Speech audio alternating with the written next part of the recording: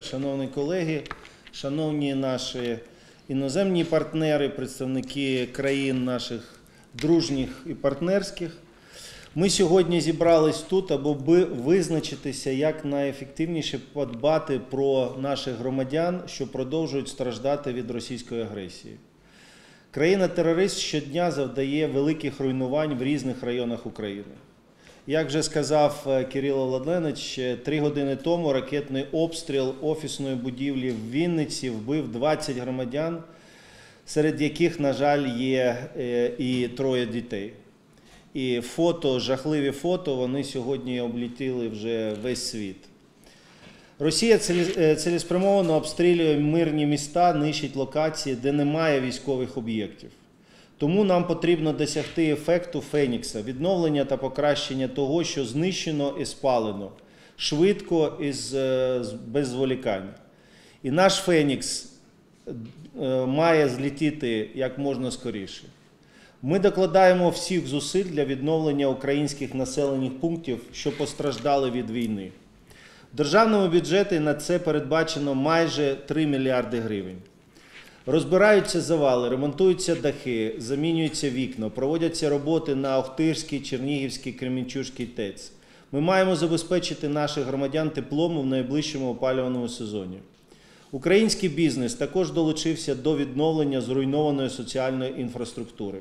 Проте через колосальні видатки на забезпечення оборони держави зусиль виключно України вкрай недостатньо.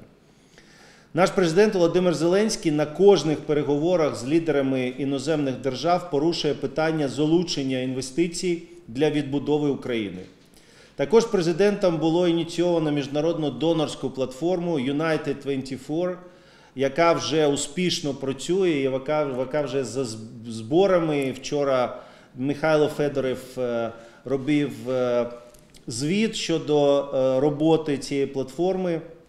Вона дійсно сьогодні займає перше місце щодо зборів е, донорських пожертвувань. Але попри досягнення певних видимих результатів, ця допомога залишається точковою. Їх бракує, і бракує її в першу е, чергу системності. Аби максимально прискорити цю роботу, сьогодні ми запросили до участі в засіданні нашої, нашого, нашої президії високоповажних представників іноземних країн та наших послів у цих державах. Я вас вітаю, вельми шановні друзі, і хотів би, користуючись цією можливістю, я думаю, що ми завжди будемо е, при кожній можливості говорити вам слова подяки від всього українського народу, тому що ми дійсно дуже цінуємо вашу допомогу і підтримку. Я певен, що за підсумками нашого зібрання ви отримаєте необхідну інформацію і зможемо покращити координацію зусиль задля відновлення нашої країни.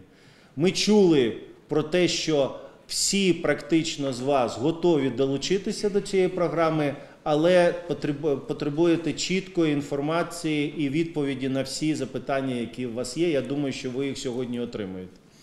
Кейс відбудови України має стати історією успіху для всієї Європи.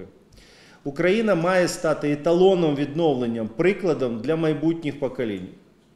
Україна являтиме собою величезний будівельний та інвестиційний майданчик, який може надати поштовх розвитку і європейських економік.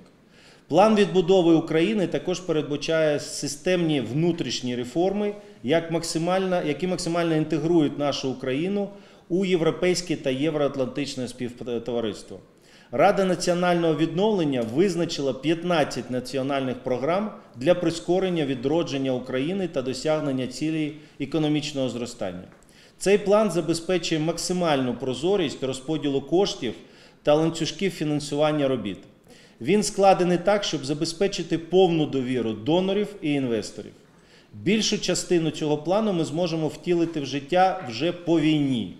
Але є необхідні мінімум, які треба реалізовувати вже зараз. І це дуже важливо. Я підкреслюю зараз. Сьогодні е, мій заступник Кирило Тимошенко презентує Fast Recovery план. Мільйони людей втратили житло і мають, і мають серйозно пошкоджені оселі. Нам вкрай важливо до зими забезпечити людей дахом над головою, теплом, електрикою, газом та іншими най- найважливішими послугами. По суті, це той необхідний мінімум, що потребує невідкладної реалізації, аби вона здійснювалась прозоро та ефективно. Ми створюємо онлайн-платформу. Вона буде містити перелік усіх об'єктів будівництва та реконструкції з детальною інформацією про них та плановими сумами фінансування, аби будь-який міжнародний інвестор чи донор мав доступ до максимальної кількості інформації. Вже зараз низка країн опікується відновленням наших регіонів. Наприклад, Данія взяла шефство над Миколаївською областю. Велика Британія готова опікатися Київщиною. Відновленням об'єктів інфраструктури в Житомирській області активно починає займатися Португалія.